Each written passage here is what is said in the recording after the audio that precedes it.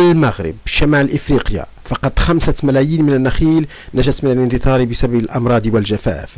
لنقوم بتحسيس أطفال المدارس.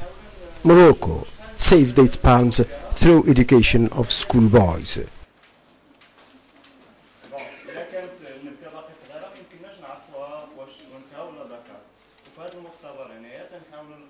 المؤشرات اللي يمكن ليها تبين لنا الذكر من الأنثى هذا هو العمل اللي تنقوم به هنا في هذه الصورة تشوفوا آه، شجره آه، تكبير ديال الصورة تقريبا وهنايا واحد آه، شجره ذكر اللي حدا هنايا في التحت شجره انثى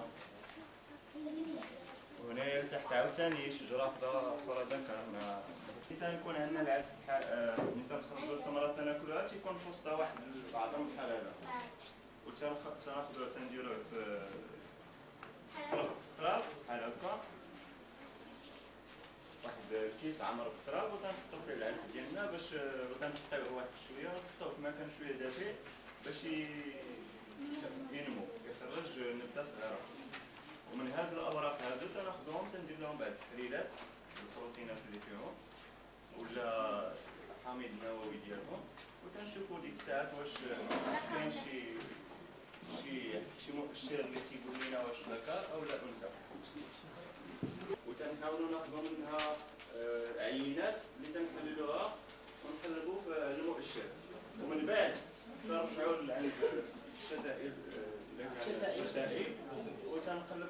واش هذاك المؤشر موجود فيهم حتى هما ولا لا؟ ما عندهمش شي مؤشر خارجي اللي يمكن ليه يبين الفرق بين الذكر وبين الانثى ودابا كيف قال لكم الأستاذ خالد المشكل اللي كتوضع لنا الاولي من حيث كنبغيو نكثروا النخل عن طريق النواه عن طريق هاد الحبيبات الصغيره بحال هادشي اللي كتشوفوا هنايا.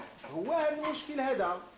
فهمتوا اذا الطريقة الاصلح ولا اللي يمكننا باش نكثروا بها النخيل هي آه، زرع ذاك البراعم الصغيرة من الشجرة. ولكن ما عندناش بما فيه الكفاية من هذيك البراعم. اذا طريقة هذا الشكل هذا. نخليكم مع الأستاذ ازكور غادي يشرح لكم هذه التقنية هذه ولو بسرعة. عجاله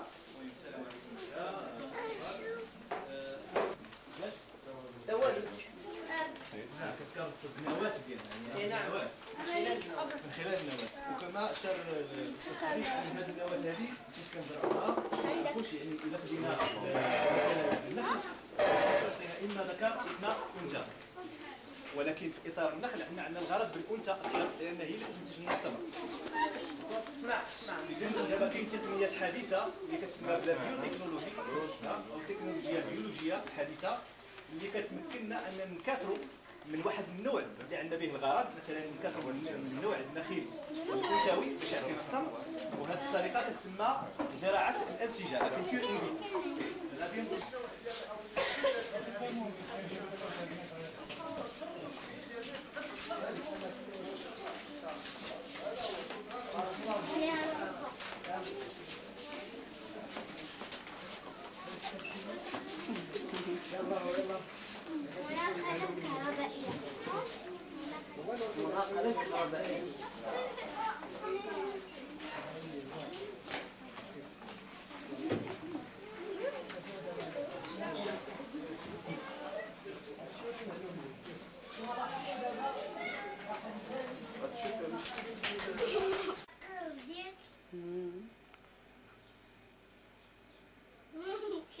ديال